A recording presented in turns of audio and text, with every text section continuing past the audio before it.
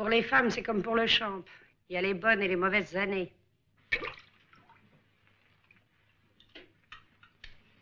Il paraît que les vieilles vedettes passent leur soirée à regarder les photos du temps où elles étaient célèbres.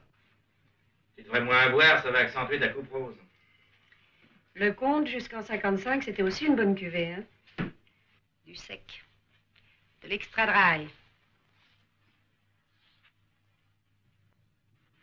Et ça, c'est comment? Wait.